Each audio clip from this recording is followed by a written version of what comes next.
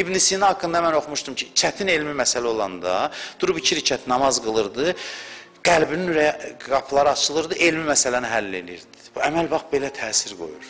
Elmə də təsir qoyur. Tövbə eləmisən, bağışlanmaq istəyirsən, sonra əməl elə. Mən tabə və amələ salihən. Quran buyurur kim tövbə edib yaxşı iş görsə. Deyir tövbədən sonra günah eləmisən, tövbə elədin. Çalış ki, bir dənə yaxşı iş görəsən. Nəsə bir yaxşı iş görəsən, kompensasiya üçün. Yaxşı iş gör ki, tövbən qəbul olunsun. Tövbən möhkəmlənsin. Deyirlər ki, kim günahdan sonra tövbə eləyəndə qarşısına Allah yaxşı iş çıxartdısa, çox yaxşı aldı. Özün də can atasan gərək. İctinabu seyyiat avla min iktisabil hasanat. Buyurur ki, pis işlərdən çəkinmək, təqvanın bir hissəsi də budur da. Günahlardan çəkinmək, yaxşı işləri görməkdən daha mühümdür. Yəni, özvə zərbə vurma, ebi az əməl elə. İki şey var. Günahdan çəkinmək, yaxşı iş görmək. Allah deyir, günahdan çəkinmək bundan önəmlidir. Çəkinmək. Bu məsələn necə misal deyim? E, belə deyək, gedib maşın yolunda dayanma. Bunun önəmi nə qədərdir? Maşın yolunda dayanırsan, maşın vuracaq da səni. Birdən atasan özünü maşın. Deyirlər ki, bunu eləmə. Bu gözəllik salonuna getməkdən mühümdür. Təbii də mühümdür. Da gedib mənə günah öldürücü zərbə vurur. Sən özünə zərbə vurub yaxşı iş görəndə ol, gəl özünə zərbə vurma. Vurdunsa tövbə elə, sonra başda təmir eləməyə əməl vasitəsilə təmir eləməyə əməl vasitəsilə. Niyə Allah əmr eləməlidir vəs əməli? Keçən dəfə dedim, bir də deyim sözümü tamamlayım. Çünki o bilir hansı əməl ruha nə təsir göstərir.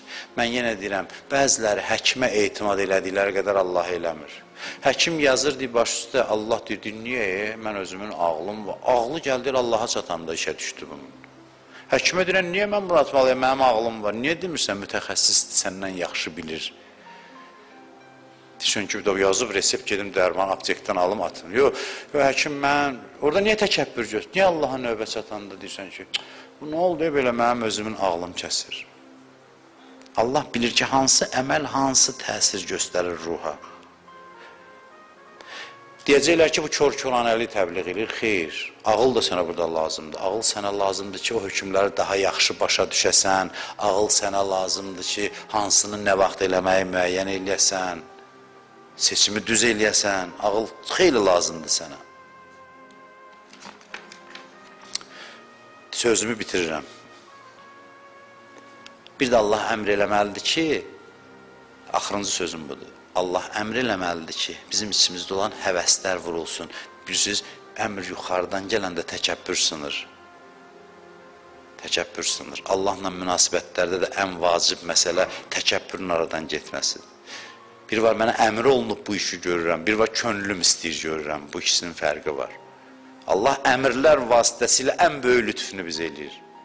Allah əmrlər vasitəsilə ruhumuzda olan o çıxıntıları kəsir ki, bizi xoşbəxt eləsin. Qısası bu qədər, çünki keçmişdə bu barədə danışmışam və insan ağılla bir yerə gəlib çatır.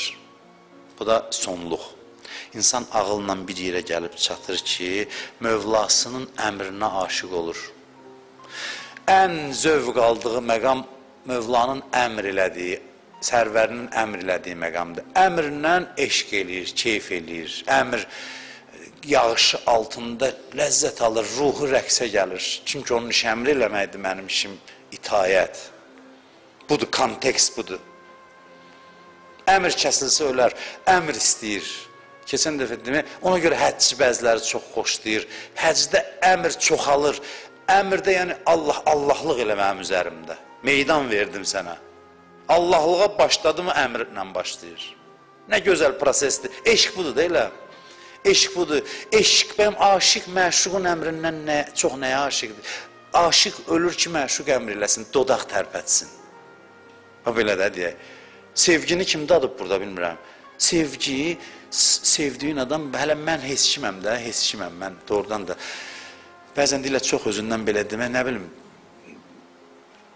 Amma görürsən ki, məsələn, bəziləri deyir ki, bir dənə xahiş edirəm, mənə bir söz deyirəm, bir şey buyur, mənə deyir. Mənə çox istəyir. Deyib, buyur mən, nəsə özün deyim, mən eləyərəm, deyim, amma özün bir şey mənə tapşır da. ərşlə denən mən ləzzət. Hələ mənim kimi naçiz bir bəndəni çox istəyir deyə məndən əmr gözləyir. Və gedəsən hara, insan nəyəsə aşiq oldusa onun əmrinin aşiqidir. Əmrindən müntəzirdir, keyf eləyir. Burada alçaqlıq məsələsi yoxdur, kimsə alçaq. Bu ucalmadır, eşq əmri tələb eləyir. Əmri tələb eləyir. Eşqin zirvəsi məşuqun əmridir. Bəzi yer var ki, məşuq deyir ki, burada özün bilərsən, bu deyir yenə, xahiş edirəm, sən denən. Əmr elə. Əmr istəyirəm. Nə olar sən əmr elə. Bax, aşura gecəsi Məhərrəm ay gəlir də bu eşqin zirvəsidir, təqvanın zirvəsidir. Aşura gecəsi. Bir yerə gəlir çatır ki, İmam Hüseyin azad eləyir onları. Azad eləyir. Azad eləyir, deyir ki, getmə izni verirəm sizə. Özü dəlil gətirir, tutarlı dəlil. Dəlillə danışır ki, deyir ki, ona görə ki, dünənəcən əmr bir məruf eləyirdiniz, bitdi. Dünənəcən mübarizə aparırdınız, bitdi. İmamı qoruyurdunuz, bitdi. Siz olsuz olmasız məni öldürəcəklər, bilin. Dəlillər verir onların əlinə, getmək dəlili. Getmək dəlili verir. Daha vacib deyil qalmağınız. İstəyirsiniz gedin deyəndə od düşür canlarına. Od düşür canlarına. Hamısı ağlayır orada. Ağlayır, nalələri ucalır ey hamısının. Ki Allah, sərvərimiz lütfünü kəsir bizdən, bizi sərbəst buraxır. Bizə deyir, gedin. Əmr eləmir, gedin. İzin verir, gedin. Hələ bunlar dəli olurlar. İzin verir. Bununla da kifayətlənmir. İstədi ki, bilsinlər İmam Hüseyin ki, istədi ki, bilsinlər ki, ciddidir. Sözümdə ciddiyəm, amma o necə bildirdi? Yəni, elə belə söz xatirinə demirəm, amma ciddiyəm, necə bildirdi? Əbəl fəza edir, sənənəm, sənə də aiddir. Görün, nə iş görürlər orada. Əbəl fəza edir ki, sənə də aiddir bu. Sənə də aiddir da, məsələ ciddidir. Məsələ ciddidir, həm də dedi ki, yəqin ki, əbd olmağın dərsini ver bunlara. Bunun içində bu da gizlənirdi. Əbəlfəz sənə də aiddir, həm məsələ çox ciddidir. Hüseyin Əbəlfəzə deyir, get, həm də içində bir şey gizlənib ki, Əbəlfəz dur göstər də ki, əbd olmaq nədir, bəndə olmaq nədir. Durdu ayağa danışdı, dedi ki, səndən sonra nəfəs alaq, səndən sonra var olaq, sən olmayasan biz yaşayaq, dünya başımıza fırlanmaz, necə yaşayaq? Səni qoyaq gedək, sonra nəfəs alaq.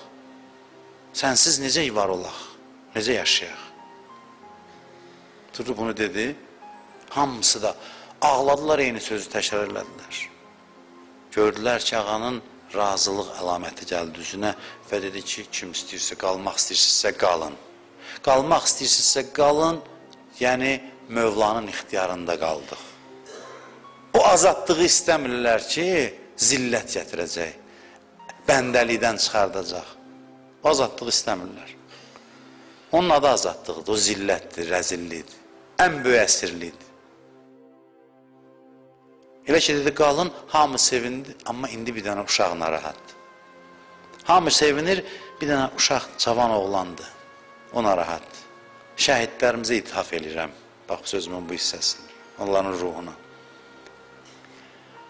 O birlər kimi möhkəm danışmır, yaşı da azdır, ədəbi, o birlər də hamısı ədəbli idi, amma bunun yaşına uyğun da bir. Gəldi, deyir, oturdu əmsinin yanında Qasim. Danışmadı, dayandı, sakit baxışı ilə danışırlar. Ondan sonra deyir, asta səslə dedi ki, əmi, mən də qalım, sözünün mənası buydu yəni. Mənə də qismət olacaq. Deyim, müsbət cavab aldı, ondan sonra aram oldu. Ondan sonra aram oldu, zikr müsibət da demirəm, inşallah çox olacaq, eşidəcəksiniz. Ondan sonra getdilər, mövlalarının itayətində şəhadətə çatdılar.